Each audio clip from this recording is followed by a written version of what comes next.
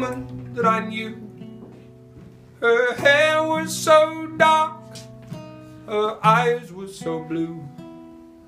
In her left hand she clutched at some children's toy. For deep within her belly slumbered her baby boy. But folks, this so tame is not as sweet as what it seemed. For the woman, she was racked by the most terrible of dreams.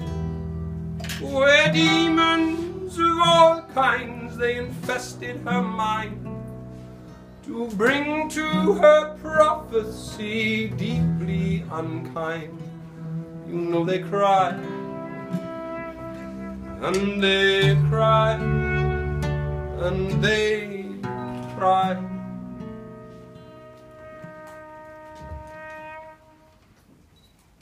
Well, now we pick up our story, and many years have passed.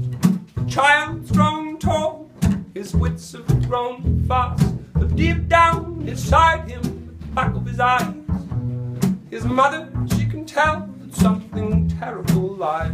On the eve of this ten or third year of life, he's preparing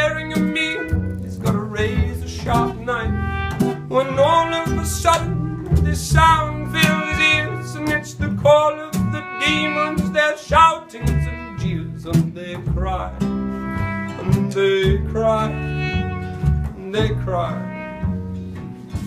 Well, we all live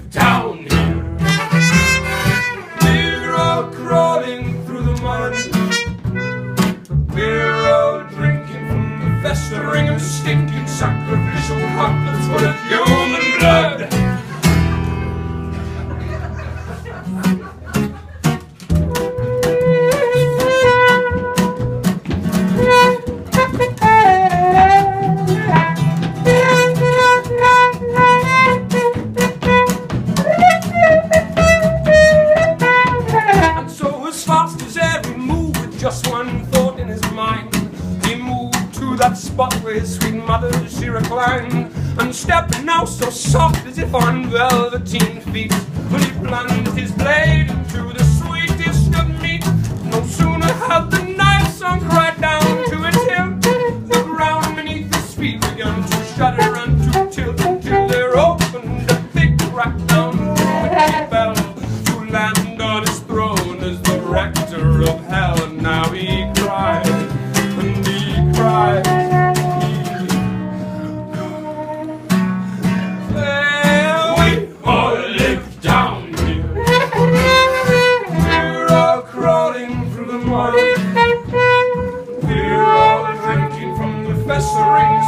stinking, sacrificial cup that's full of human blood.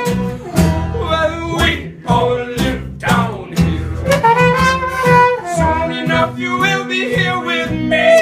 And I will teach you all how to forget, so never shall you need regret to join me in my doleful jamboree.